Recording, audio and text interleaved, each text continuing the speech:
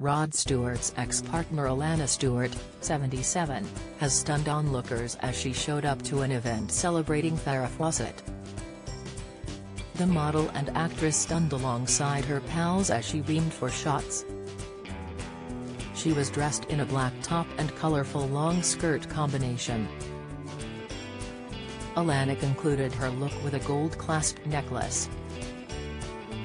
The star was spotted alongside the likes of Patrick Foley, Jaclyn Smith and her ex-husband George Hamilton. The Farrah Fawcett Foundation, of which Alana is CEO, aims to find a cure for cancer and particularly HPV-related cancers.